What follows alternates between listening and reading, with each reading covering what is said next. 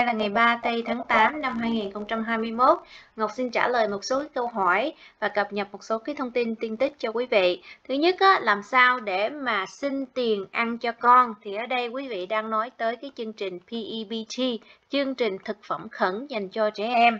Đây là cái chương trình lẽ ra là quý vị sẽ được cái bữa ăn miễn phí giảm giá cho con em của mình ở trường học. Nhưng mà tại do cái mùa dịch này cho nên tụi, tụi nhỏ nó học ở nhà cho nên là sẽ được nhận cái tiền cash payment vào thẻ luôn. Và quý vị có thể dùng cái thẻ này để đi chợ mua đồ ăn cho con mình. Rồi kali á à, thì khi nào cái lịch nó về những cái tiểu bang khác thì Ngọc sẽ để đường link cho quý vị. Quý vị vào những cái đường link đó. Để mà apply á, thì thực ra cái câu trả lời của Ngọc á, là theo cái mà Ngọc biết á, thì quý vị không thể apply được. Người ta chỉ xét cho những gia đình nào mà lãnh những cái chương trình như là food stamp đồ đó, thì con của họ được lãnh theo cái chương trình PEBT hồi giờ quý vị đủ điều kiện thì bây giờ sẽ, quý vị sẽ được tiền. Chứ người ta không có nhận đơn mới, quý vị.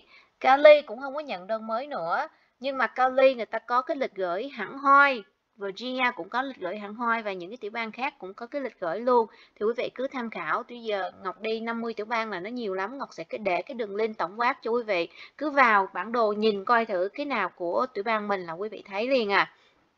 Rồi bây giờ Ngọc sẽ cập nhật thêm một số cái thông tin về 10.200 rồi cái tiền 300 mỗi tháng cho trẻ em. Và trước khi Ngọc cập nhật những cái thông tin này thì Ngọc cũng xin chia sẻ cho quý vị là ngày hôm qua, ngày thứ hai thì Thượng nghị sĩ Lindsey Graham là cái người Thượng nghị sĩ đầu tiên mặc dù ông đã chích vaccine rồi nhưng mà đã bị nhiễm và dương tính với lại COVID-19. À, ông ở cái độ tuổi là 66 tuổi, ông chích vaccine vào tháng 12 và khi mà ổng có cái symptom ổng có cái triệu chứng là xảy ra vào thứ bảy và giống như là bị cảm thôi chứ không có gì nặng hết. Và ổng cũng có tiếp xúc và với nhiều người đặc biệt là thượng nghị sĩ Joe Manchin à, của tiểu bang à, West Virginia. Thì cho đến tại cái thời điểm bây giờ thì Ngọc biết là ổng phải cách tự cách ly trong vòng 10 ngày đó là cái thông tin về Lindsey Graham.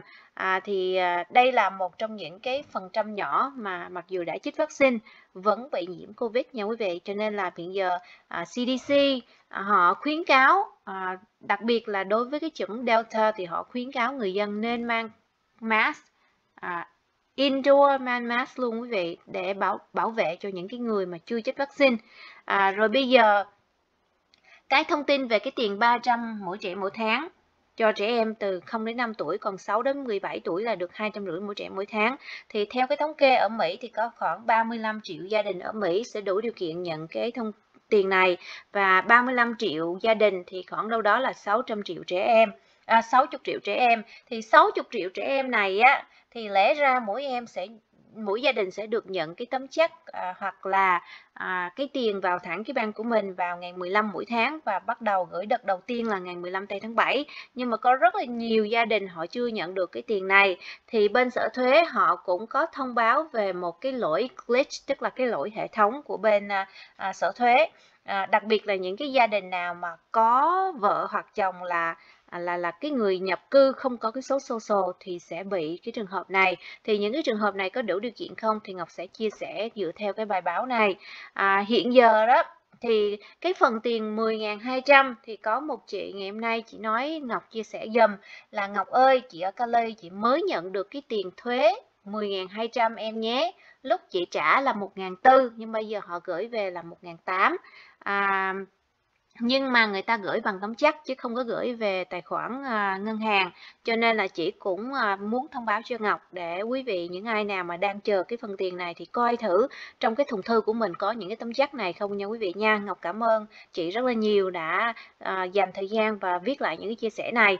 Rồi bây giờ đối với cái tiền 300 mỗi trẻ mỗi tháng đối với vị thì à, Hiện giờ những cái gia đình nào mà có vợ chồng là mixed status family, ví dụ như là người chồng là công dân Mỹ và người vợ là người nhập cư không có số social, nhưng mà họ có đi làm và họ có đóng thuế, thì bây giờ bên sở thuế họ trả lời á là mặc dù họ không có số social, nhưng mà người ta vẫn có cho con của mình. Ví dụ như nhiều khi người ta nói rằng ô ba mẹ không có số social thì chắc là con không có được hưởng, nhưng mà đứa con này vẫn được hưởng nha quý vị, vẫn đủ điều kiện. Và nếu như mà quý vị chưa có nhận được thì người ta nói rằng là cái payment người ta gửi vào ngày 13 tây tháng 8 sắp tới nè, là người ta sẽ gửi cho mình tháng 7 và tháng 8 luôn, nếu như người ta chưa gửi ra. Cho nên là quý vị cứ đợi đi. Bên sở thuế người ta nợ mình là người ta sẽ gửi trong sao rồi nếu như người thật ta thật sự quên hẳn mình đi thì sau này mình có thể khai thuế và mình xin lại không có sao hết không có mất tiền nha quý vị. Chủ yếu là mình không có nhận được trong cái cái gọi là cái cứu trợ khẩn cấp thôi. À, thường thường là mình cần tiền thì mình cần tiền nhanh về tài khoản để mình tiêu dùng trả daycare để mình đi làm hoặc là chi tiêu ăn uống nhà cửa vân vân. À, thì còn nếu như mà quý anh chị à, không nhận được và quý vị rất cần tiền thì quý vị cứ gọi bên sở thuế. Còn nếu như quý vị có thể chờ được thì quý vị nên chờ quý vị nha.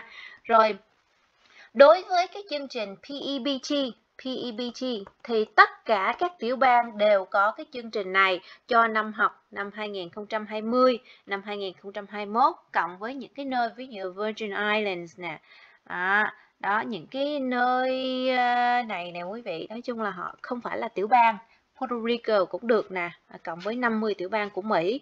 Và năm à, mùa hè năm 2021 thì đây là những cái danh sách tiểu bang họ có cho cái chương trình mùa hè luôn.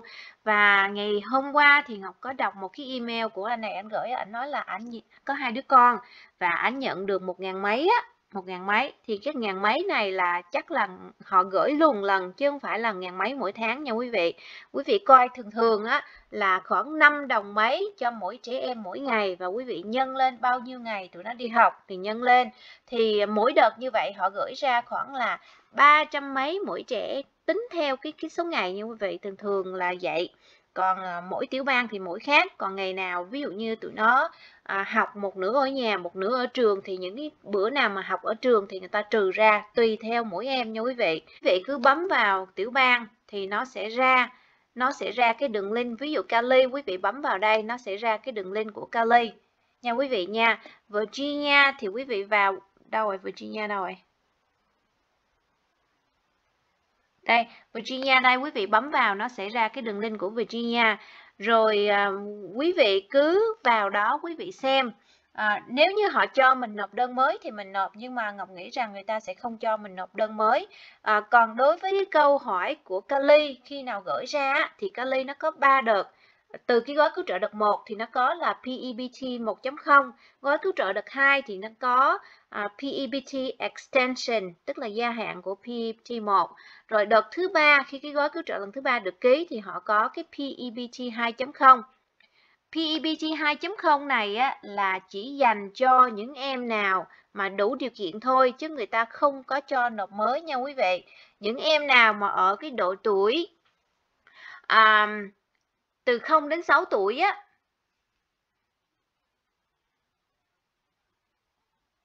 Um, ok để coi thử đi. Um, nè người ta nói là no no PEBT 2.0 application không có nộp đơn được quý vị nha.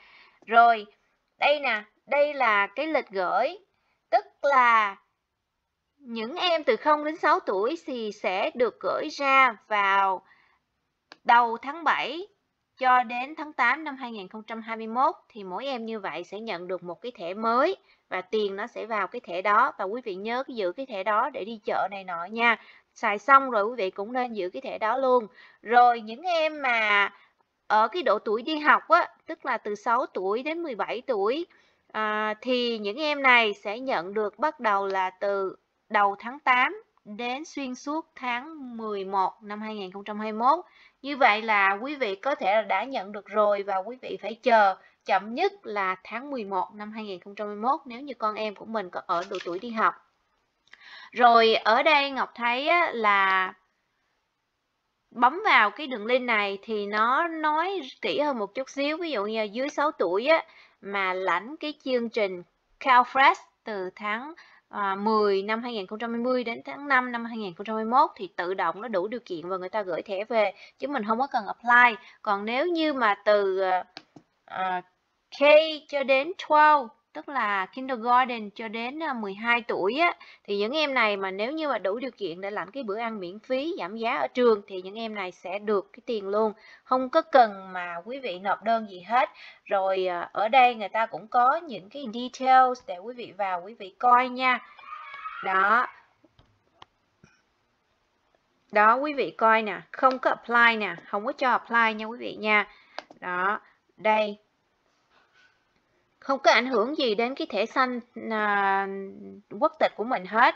À, không đây nè quý vị thấy nè maximum amount mỗi tháng như vậy sẽ được là 123 đô mỗi tháng đó 123 đô mỗi tháng. Còn em nào mà vừa học ở nhà vừa học ở trường thì sẽ được 60 đô 68 đô mỗi tháng chẳng hạn. Thì quý vị thấy là Cali họ cũng đưa ra những cái thông tin này rất là à, rõ ràng. Mỗi trẻ em như vậy sẽ có một cái thẻ riêng cho mỗi trẻ. À, quý vị nha và mình có thể mua đi chợ online hoặc là mua đi chợ in store thì được hết không có sao hết. Đó thì à, sau khi mà người ta gửi cái phần này phần kia thì người ta sẽ tự động nạp tiền vô. Cho nên là quý vị giữ cái thẻ này đừng có để mất cái thẻ và đừng cái đừng có vứt cái thẻ đi nha quý vị.